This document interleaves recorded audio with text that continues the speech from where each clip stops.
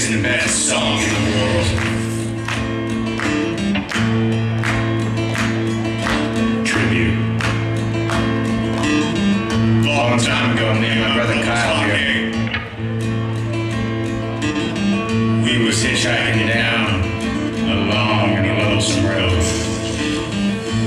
All of a sudden, there shined a shiny demon in the middle of the road.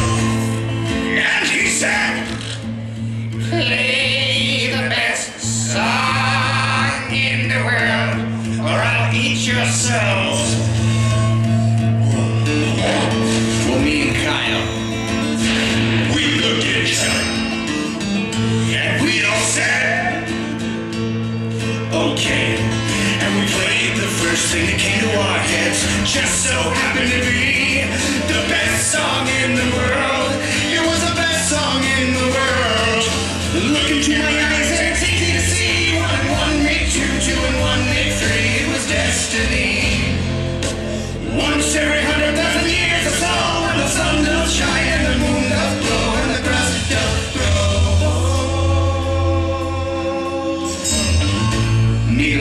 Say, the beast was stunned.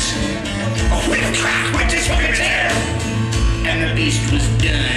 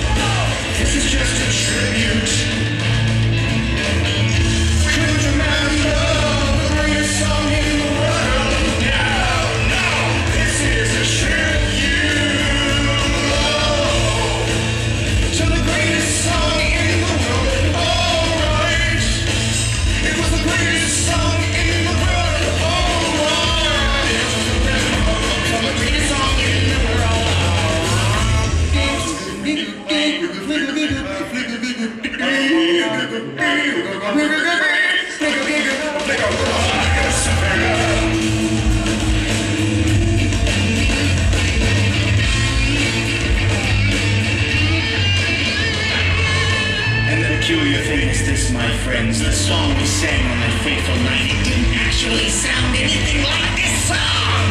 This is just